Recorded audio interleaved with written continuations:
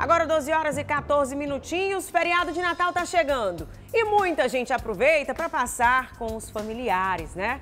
Aproveitar a festa, se divertir. Às vezes nem tanto, né, meu povo? Família unida, família reunida. Aí tem aquela desavença do ano inteiro. Coloca a Mara Rodrigues aqui no telão, que eu quero conversar com a Mara. Se ela estiver me ouvindo, eu quero interagir com ela, tá? Mara, boa tarde. A Mara está na rodoviária de Fortaleza acompanhando as pessoas que irão viajar para o interior do estado. Aí, Mara, tem gente que passa o ano inteiro falando do parente, descendo a madeira do parente. Quando chega o Natal, me perdoe, eu amo você.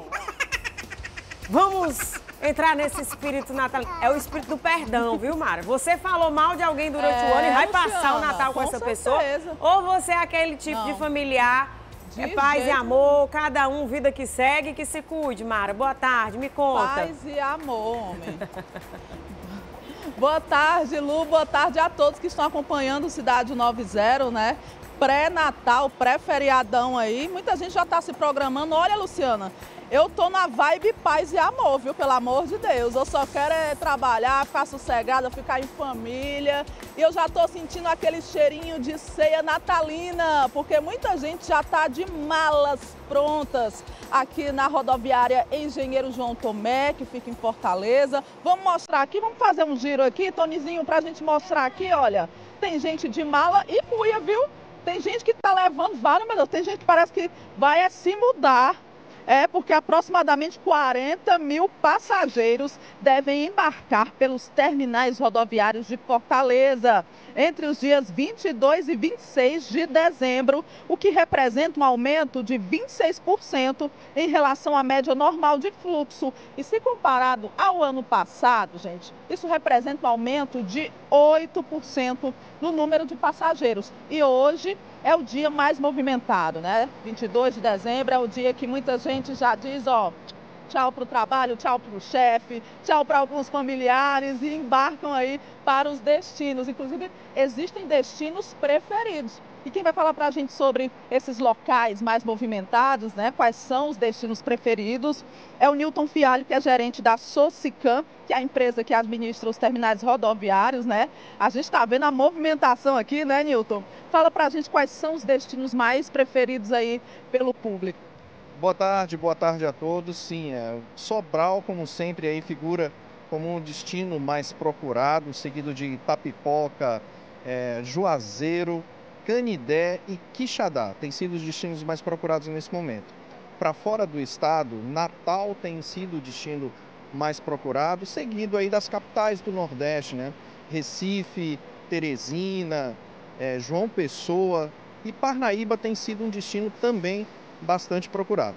Agora tem ônibus extras, né, para o pessoal ficar aí já antenado, né? Muita gente não se programou. Como é que vai fazer? Então, de acordo com a Coordenadoria de Transporte da ACE, cerca de 205 horários extras já foram disponibilizados para poder atender essa demanda. Mas o passageiro que ainda não adquiriu sua passagem pode acessar o site das empresas que fazem esse transporte ou acessar o www.rodoviariafortaleza.com, é o site oficial do terminal rodoviário.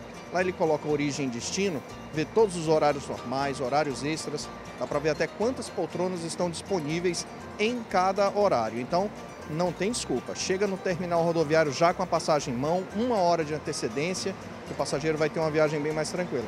Agora, tem algumas dicas que é sempre bom seguir, né? Chegar cedo, pelo menos com uma hora de antecedência. Atenção também na documentação, quem vai viajar com criança. Exato, a gente já viu algumas crianças por aqui, então isso é muito importante que você tenha tanto a sua documentação quanto a documentação da criança, para comprovar inclusive o parentesco. Se não for viajar com o papai e com a mamãe, se for viajar com um outro parente, precisa ter uma autorização especial. Lá no site que eu te falei, lá em, na, no Tira Dúvidas, no atendimento, tem os links para você imprimir esse formulário, preencher, levar num cartório, autenticar e já trazer aqui para o embarque. Caso contrário, aí vai ter algum problema aí, vai ter que é, postergar essa viagem. Então, para qualquer, para evitar qualquer tipo de problema, é melhor já trazer a documentação toda prontinha. Ok, Newton, obrigada pelas informações. Olha, olha essa fila aqui, gente já está bem grandinha, viu? A fila já está recheada aqui, todo mundo com a malinha, com a mochilinha, pronto para viajar aí para a ceia natalina, né? Aqui chegou o ônibus também. Esse aqui onde a gente está é a, é a plataforma 14. E vai para onde, meu Deus? Ó, saída de Fortaleza, vamos em primeira mão para São Luís, viu? Viagem boa. É bom, gente, viajar, muito bom viajar, principalmente se for para ficar, para fazer as pazes com os parentes, né? No caso de muita gente é para fazer as pazes. Vamos saber, ei, vamos trazer aqui, Tony, que essa eu tô muito animada.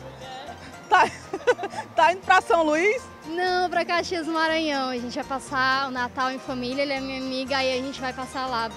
É porque é a primeira vez que ela vai, são 13 horas de viagem. E aí ela tá bem animada. Vocês vão passar o Natal por lá? É, o Natal somente. Casa de familiares? Isso, isso. Aí é família, todo mundo junto, é bem legal. Você é daquele tipo que passa o ano todo arengando, brigando com a família. Aí no Natal todo mundo se ama, todo mundo é perfeito. Aí depois que acaba o Natal, todo mundo tesourando todo mundo e falando como é que foi. Troca de presente. Ah, esse presente é putaria mesmo. É. tá aí, gente, eu conversei com a Flávia. A Flávia? Jeane. A Flávia e a Jeane seguindo aqui, né, para o Maranhão. Feliz Natal e a gente torce para que dê tudo certo na viagem. E a gente deseja também paz e luz para os passageiros que estão viajando aí, estão embarcando no terminal rodoviário aqui Engenheiro João Tomé. E para todos que estão nos assistindo e você também, Luciana, você, sua família maravilhosa e todo mundo que, olha, é o espírito natalino que toma conta da gente. Inclusive hoje parece feriado, viu, em Fortaleza, o trânsito está até melhorzinho. Mas não deixe de se programar, não, saia cedo, pelo menos com uma hora de antecedência, para evitar uma, dorzinha de cabeça quando chegar aqui na, na rodoviária, viu, Luciana? Ô, Mara, não saia daí não, calma aí que eu quero conversar com você. Adorei as meninas aí. Inclusive estão fazendo vídeo aí para mandar para o grupo da família. Pergunta a alguma delas ou a um outro passageiro Eita se eles estão participando do amigo secreto, se estão levando aquele panetonezinho pro familiar. Ah. Porque chegar na casa do parente lá do interior para comer e tirar foto, aí todo mundo quer, né? Mas na hora de levar um presentinho, pergunta às meninas se elas estão levando, se estão indo preparadas, ou se estão indo só para comer é, mesmo. Porque o Natal, bom, minha amiga, Boa. é aquele onde tem fartura e todo é. mundo quer ir para casa de alguém comer. Inclusive, se me chamar, eu vou, viu, gente? Tá contigo. Olha, eu também já tô aqui esquematizada, viu? Que eu vou participar de um amigo doce. Que tem um negócio no chocolate, mais 10, 10 reais no final, o último ganha o chocolate e o dinheiro. Menino, vai ser massa, vai ser massa. Agora deixa eu perguntar aqui pra elas. Me diga uma coisa. Você tá levando presente pra alguém ou vai só pra comer mesmo? eu tô levando um presente pra uma criança é, só pra criançada mesmo, porque os adultos estão tudo criados. E amigo secreto, não vai ter não? Tem, tem amigo secreto, só que não é nome, não é tirado, tirado na hora e cada um troca e tal. Ah, chamado amigo doce, vai ter chocolate? Isso, isso, só que não tem doce, é só eu preferi comprar coisa mais útil de casa, essas coisas, do que algo realmente com açúcar, porque vai que tem um diabético, se bem que tem diabético na minha família, então é melhor não arriscar, né? Melhor comprar alguma coisa útil mesmo torcer para que a pessoa fique feliz com o presente, né? senão pode terminar em confusão, mulher. É pior, viu? Mas vai dar certo, vai dar certo. Vai. Um pensamento positivo aí para a ceia natalina de vocês. Então, olha, respondida a pergunta, vai ter sim presente, mas é, é, aquele, é, é daquele jeito, escolhe na hora, tira o papelzinho na hora, vai ser igual o meu, Luciana. tu tá querendo economizar, né, Mara? Essas desculpas aí é para fazer ah, economia. Miserável. Inclusive, senti falta, viu, aqui? Vai ser amigo doce. Ah, eu senti falta é, de fazermos aqui o nosso amigo não. secreto, amigo doce. A gente pode combinar. Vale só para o Natal ou dá certo até o Réveillon, hein, diretora Mirna e Pete? A gente poderia fazer aqui a equipe, né, Mara? O que é que tu acha? Quer participar? Eu quero, até janeiro tá valendo, gente. Pois eu vou organizar Até janeiro aqui. tá valendo, não tem isso não. Toda hora é hora de celebrar a vida, de comemorar, de estar, tá, né, entre amigos, entre os colegas, não tem isso não. A gente, você sabe que a gente só tem uma desculpa, né? A gente só quer uma desculpa para estar tá junto para comemorar. É verdade, Mara. Pois eu vou organizar esse amigo secreto ou amigo doce por aqui, tá? Vou colocar seu Pronto. nome na lista.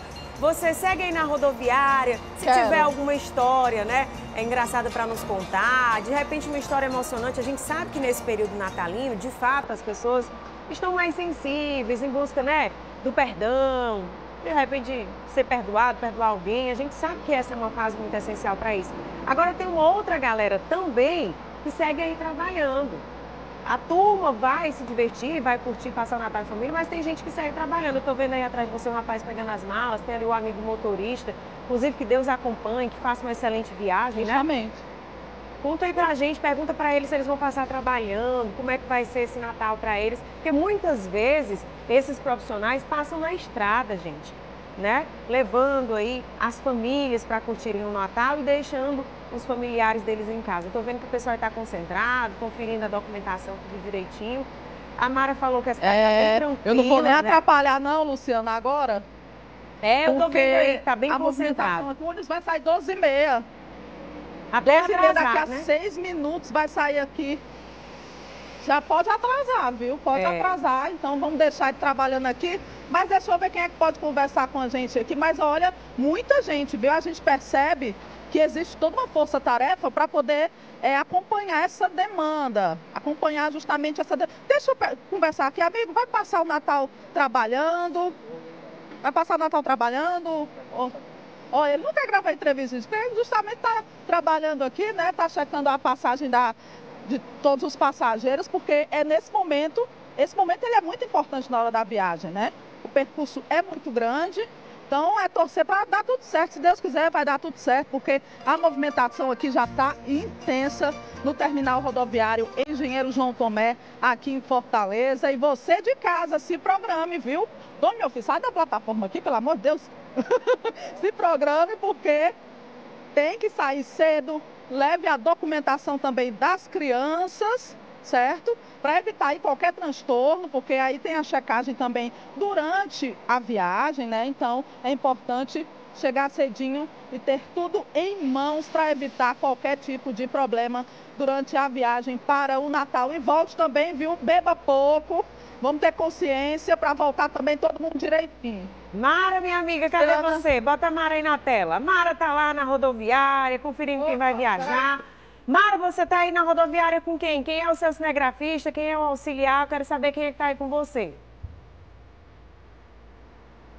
Estamos aqui com Tony Costa, nosso cinegrafista, e Tom Dias, que no momento não está aqui com a gente porque né, ele está mais próximo do veículo, mas a gente está aqui com o nosso cinegrafista Tony Costa, filmando tudo aqui, mostrando tudo pra gente, viu? Ô, Então a Mara. gente está esquematizado aqui o Natal, já está todo Mara. esquematizado.